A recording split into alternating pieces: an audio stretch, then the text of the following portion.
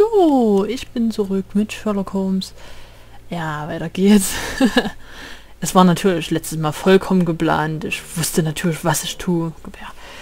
Ja, äh. ja nach einer Probe. Ich sollte eine Karte. Direkt nach dem, nach der Aufnahme, weil ich konnte es mir, ich wusste nicht, was ich davon halten soll von dem Scheiß hier. Äh, habe ich mal probiert, einfach die Karte in eine andere Hand zu legen, nämlich sprich diese hier. Welche Karte möchten Sie spielen? Was soll ich sagen? Äh, es ging an, es ging. Das ist die logische, das ist die richtige Karte, genau. Jetzt wieder runterziehen, seht ihr, es geht nämlich weiter. Hahaha. ist ja peinlich für mich ein bisschen. Welche Karte möchten Sie spielen? Oh.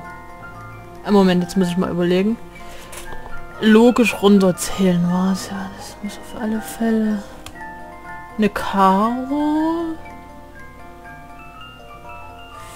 Vier. Oh Gott. Hirn. Bitte, lass mich nicht im Stich.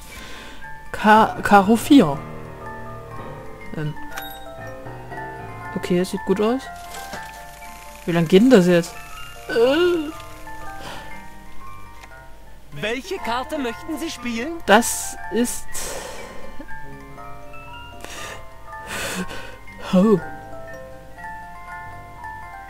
Weil das muss also auch eine Kreuz sein? Vier. Vier. Sie haben gewonnen!